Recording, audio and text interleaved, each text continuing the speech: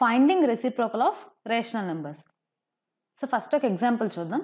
By which rational number would you multiply eight by twenty one to get product one so eight by twenty వన్కి దేంతో multiply చేస్తే one అనేది ఆన్సర్గా వస్తుంది? Yes twenty one by ఎయిట్తో multiply చేయాలి. ఇప్పుడు ఎయిట్ బై ట్వంటీ వన్కి ట్వంటీ వన్ బై ఎయిట్ అనేది రెసిప్రోకల్ అవుతుంది. సో రెసిప్రోకల్ అంటే ఏంటి? న్యూమరేటర్ అనేది డెనామినేటర్ అవుతుంది. డెనామినేటర్ అనేది న్యూమరేటర్ అవుతుంది. ఇప్పుడు జీరోకి మాత్రం నో రెసిప్రోకల్ జీరోకి రెసిప్రోకల్ ఉండదు. సో ఇప్పుడు ఏం చెప్తాం?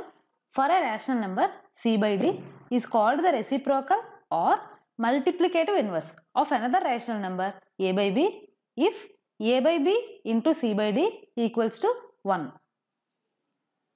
so fill in the blanks reciprocal of one by X so one by ఎక్స్కి దేంతో మల్టిప్లై చేస్తే వన్ అనేది ఆన్సర్గా వస్తుంది?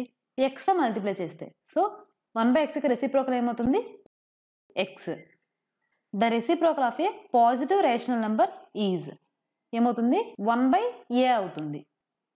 Is eight by nine the multiplicative inverse of minus one and one by eight why or why ఇక్కడ చూడండి. Minus one and one by eight అంటే ఏంటి?